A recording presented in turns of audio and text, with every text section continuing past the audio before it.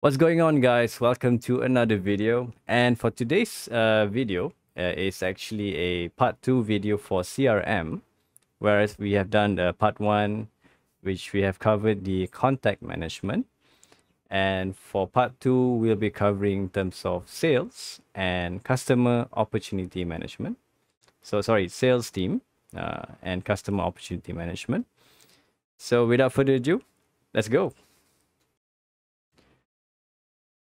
All right, guys. So in part one, we have covered in terms of creating contact management, which is the contacts and interaction table.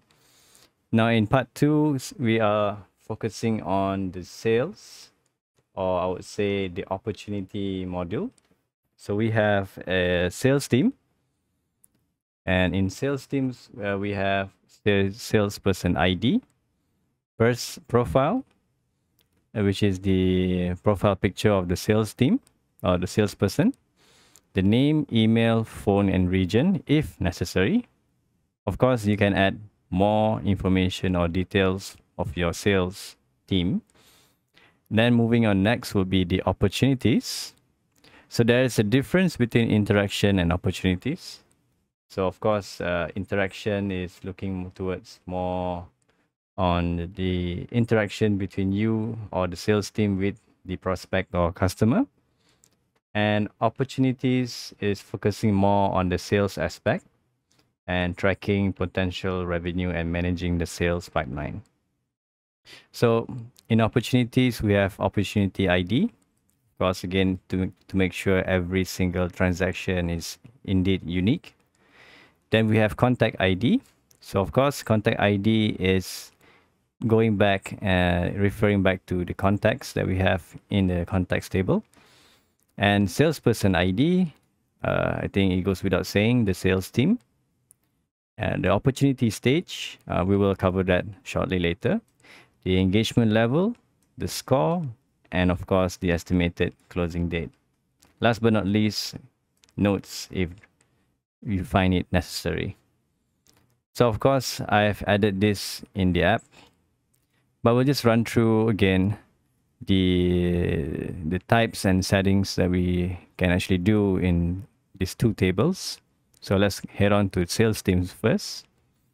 So of course, salesperson ID, uh, the initial value is unique ID. Here you can see. Then we have profile, which we set as image so that we can actually upload uh, image, the name, the email, the phone and region. All right, so for opportunities, however, where there's a few additional settings that we may want to do, which I did. So for contact ID, I set it as reference. So reference for contact ID is referring back to the contacts table. So here you can see so that we can actually pull our customers or prospects information. And of course, next will be the salesperson ID. And of course, this is referring back to the sales team table. Now for opportunity stage, like any other CRM, uh, there are a few levels of opportunities when dealing with a prospect. So here again is not the absolute way, but this is just an example. So we have qualification, proposal, negotiation, and which is close whether you lost the opportunity or you close where you won the opportunity.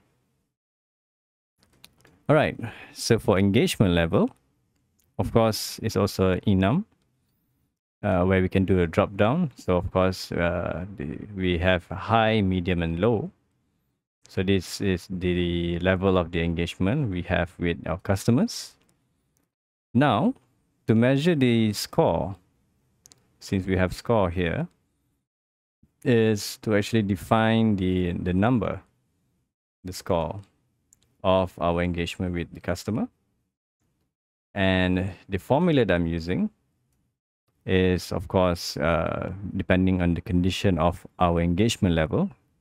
So let's say if our engagement level is high, therefore the score would be 100.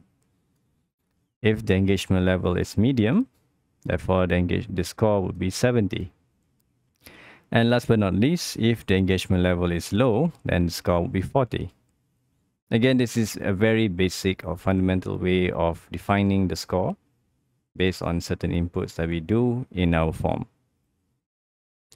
Moving on next would be the estimated close date and notes. And there you have it. So let's say, let's say we try to run this again. So uh, let's wait for it to synchronize. All right. So we have, let's create a sales, uh, uh, sales contact or salesperson. So I'll add one right now. Let's say we have uh, a handsome guy here called Alan Rick. All right, so Rick at test.com, phone number, and region. So I've just created a sales team uh, ID here, or personnel, which is Alan Rick from uh, APAC region. And let's say we have a new opportunity. And let's say Mr. Allen here adds a new opportunity. And his contact would be the person that we created in part one, which is the customer. In this case, myself, Aris. And the salesperson ID would definitely be Alan Rick. And the opportunity stage since it's still new you can just put here as qualification. Now when i hit the engagement level to low you realize the score is calculated as 40 here.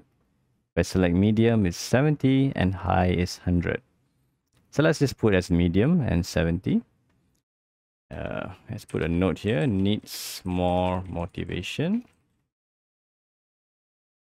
to persuade, uh, to, um, to gain confidence for client. All right. And when I save it here, you can see the data has been um, recorded as such by the person, which is Alan Rick, for Aris, which is the customer. And the stage is qualification, engagement level is medium, score is 70. So of course, estimated close date, we should not be doing it by today. By default, it's today. We can change it maybe to close somewhere in January. Okay, let's save it here.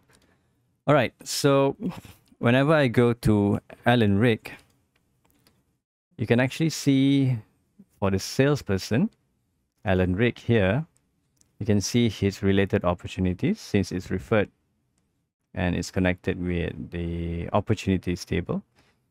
You can see his uh, current opportunities. This would have the same behavior for any other salesperson. And of course, vice versa. If we go back to the customer itself, which we have covered in part one, we have we can actually see the interaction and of course the opportunities and who is actually currently handling handling the opportunities or opportunity sorry. So i hope you enjoyed the video. Stay tuned for part three.